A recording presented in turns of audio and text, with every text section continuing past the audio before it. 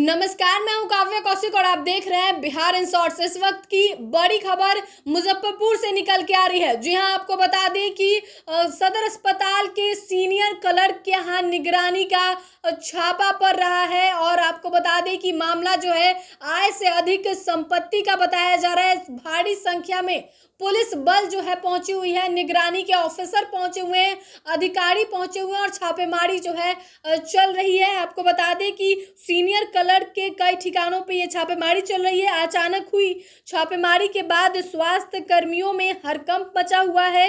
बड़ी संख्या में पुलिस बल के साथ विजिलेंस के अधिकारी कलर के कई ठिकानों पे छापेमारी कर रहे हैं। दरअसल सदर अस्पताल के सीनियर क्लर्क सुबोध ओझा के कई ठिकानों पर विजिलेंस की रेड हुई है। सीनियर क्लर्क सुबोध ओझा के सदर थाना क्षेत्र के खबरा स्थित पैतृक आवास से लेकर अन्य ठिकानों पर विजिलेंस की टीम छापेमारी कर रही है। सीनियर क्लर्क सुबोध ओझा पर भ्रष्टाचार का आरोप लगा है, जिसके बाद विजिलेंस की टीम की दबिश दी गई है।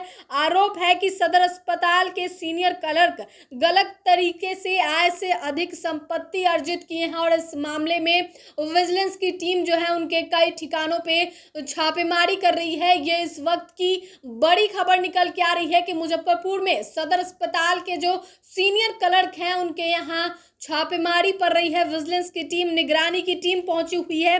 जानकारी के मुताबिक कोरोना काल के दौरान सदर अस्पताल में हुए 780 कर्मियों की बहाली और फिर बहाली की प्रक्रिया में निरस्तर करने के मामले में सुबोध ओझा का नाम चर्चा में आया था। इस मामले में बड़े स्तर पे पैसा का खेल होने का मामला सामने आया था, यानी कि जिन कर्मियों का जो है नौकरी लगाया गया था, उनसे पैसा लेने का मामला सीनियर क्लर्क पे है और इसी मामले में निगरानी की टीम जो है, उनके आवास पे पहुँची हुई है, छापेमारी कर रही है।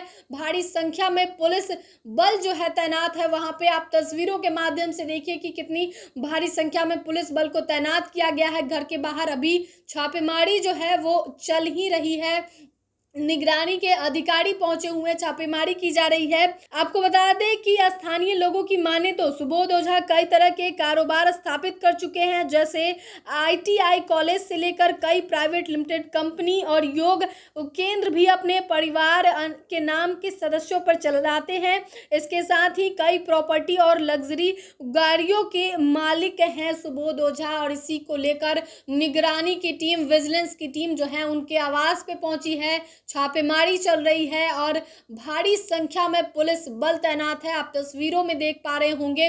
और साथ ही आपको बता दें कि मामला जो है वो भ्रष्टाचार का है। आय से अधिक संपत्ति का मामला है।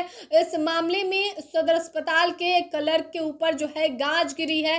विजिलेंस की टीम ने दबिश दी है उनके घर पे जाके और रेड जो है अभी चल रहा है छापेमारी चल रही है और अभी जो है कुछ अभी क्लियर नहीं हुआ है। अब देखने वाली बात होगी कि छापे छापेमारी के बाद निगरानी के अधिकारी और टीम जो है क्या कुछ निकल के आता है? कितना संपत्ति जो है वो आय से अधिक निकल के आता है? बताया जा रहा है कि कोरोना काल में उन्होंने कई स्वास्थ्य कर्मी की बहाली की थी और उनसे पैसा लिया था। इसी मामले में निगरानी की टीम छापेमारी कर रही है। तो फ़िलहाल के लिए खबर में इतना ही। साथ ही चैनल को सब्सक्राइब करें, फेसबुक पेज को लाइक करें। वीडियो देखने के लिए आपका धन्यवाद।